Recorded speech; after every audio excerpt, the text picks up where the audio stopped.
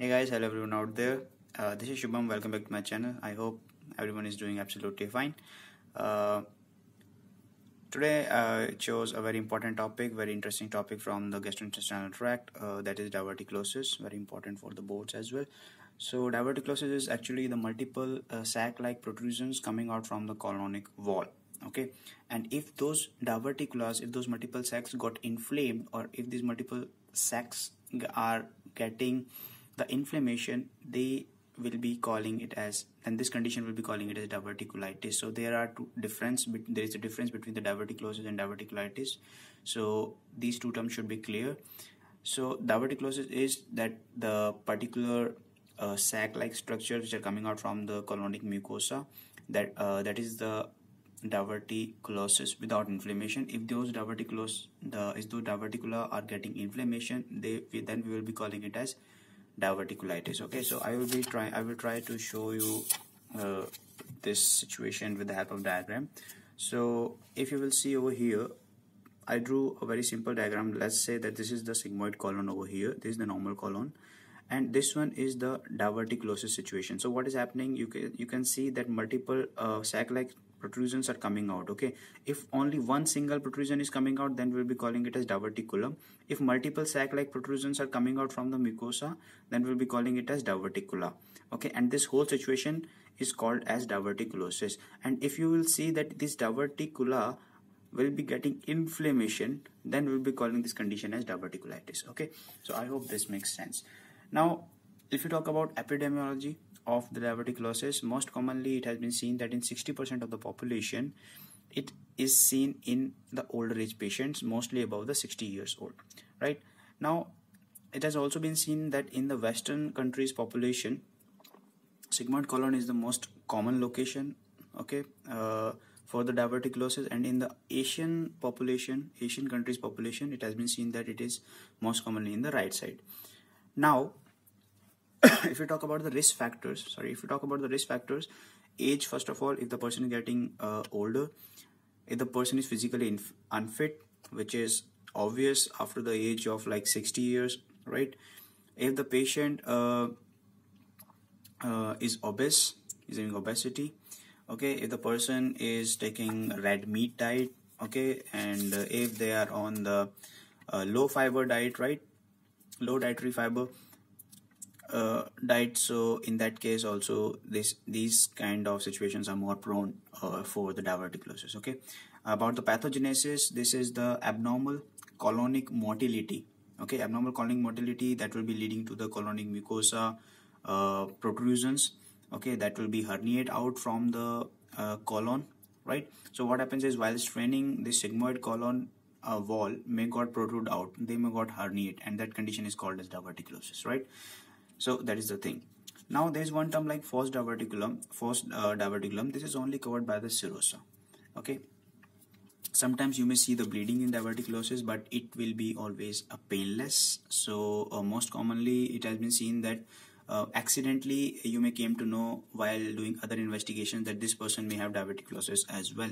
And it is usually confirmed by the colonoscopy which is the uh, gold standard for the diverticulosis uh, diagnosis right? So how will the patient present to you? How, what will be the presentation? What can be the uh, signs and symptoms? So symptoms usually are asymptomatic okay? You will not be able to find sometime uh, that this person may have diverticulosis right sometimes there can be cramping bloating okay flatulence in the stomach there can be the rectal bleeding okay there can be the irregular movements in the bowels okay irregular defecation can be there. So this can be the uh, uh, physical uh, this can this can be the presentation uh, how the patient can present to you. While doing the physical examination you may find that there is a lower left quadrant pain okay there is a lower left quadrant pain and tenderness can be seen while doing the physical examination of such patients. Uh, while doing the studies, uh, while doing the imaging studies for the diagnostic purpose, uh, often, as I told you, these are random and these are very incidental that you are doing other investigations and you came to know that this person may have the uh, diverticulosis and usually it is confirmed by the uh, colonoscopy, right? Now, colonoscopy is the gold standard first of all. Okay, it allows you for visualizing the diverticula. Okay, uh, and it also used to differentiate other kind of differentials for example the malignant cancer the any kind of malignancy colon or rectal cancer right? Now colonoscopy is not recommended in acute diverticulosis okay? For the acute diverticulosis ct scan is the gold standard. So ct ct with the contrast it's the gold standard for acute diverticulosis. Otherwise colonoscopy is the uh, gold standard for the diverticulosis okay? What else can you do for the diverticulosis to diagnose it? There can be the plain abdominal graph plain abdominal radiograph rather. So uh, there you may find any signs of constipation right? Lab studies you may go for the cbc fbc complete or full blood count right? Uh, there you can see anemia because you have to find uh, uh, whether there is any kind any symptoms of or any signs of anemia because there are, there can be the blood loss right? Due to that there can be anemia and the levels of the iron. Okay so there can be the iron deficient anemia too. Now uh, what about the differentials so i told you diverticulitis okay and look for the colorectal cancer.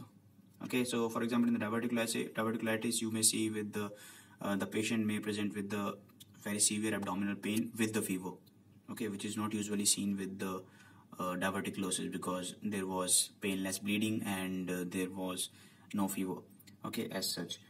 For the treatment for asymptomatic uh, patients as i told you some persons may be asymptomatic. For asymptomatic patients what you what you may do you just uh, don't need the medical treatment. You may uh, treat them with the conservatively conservative treatment. For example observe the patient carefully okay uh, for the complications and uh, the try to bring some uh, lifestyle changes. For example add some high fiber diet to them because it will try to relieve the uh, constipation right? And if the person uh, is symptomatic which means in case of uh, some kind of diverticulum bleeding is there in that case uh, resuscitate your patient okay? Make sure the iv fluids and all colonoscopy to uh, equalize the electrolyte balance right? Uh, so resuscitate your patient colonoscopy gold standard right? Colonoscopy after that angiography can be there. If colonoscopy angiography are not working for you then go for the surgery. This is the last step for the diverticulosis right? So yeah the last step is the surgery. Okay what can be the complication? Again diverticulosis can lead to diverticulitis. Otherwise uh, there may be the anemia okay? What else can be there? There can be uh, uh, one term a very typical term that is the exsanguination. What is exsanguination? It is the very dangerous situation. It is the loss of blood to a degree uh, sufficient to cause the death. Okay, so the blood loss will be continued till the death. The exsanguination can be there, diverticulitis can be there, any kind of bleeding or hemorrhage can be there. Okay, so if it, it if it continues and continues, continues, so that's why resuscitate your patient.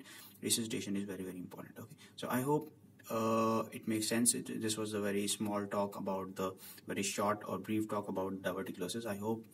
Uh, you like this uh, make sure you like this video share this video and subscribe to my channel. See you in my next one. Thank you so much